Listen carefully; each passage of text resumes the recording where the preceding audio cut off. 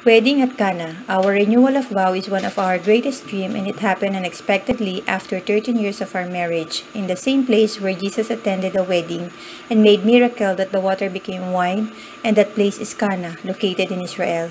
John chapter 2 verse 1 to 11. The celebration was very simple, almost the length of a prayer for the couple. But for us, it is very meaningful that we have gone this far with the guidance of the Lord Jesus Christ.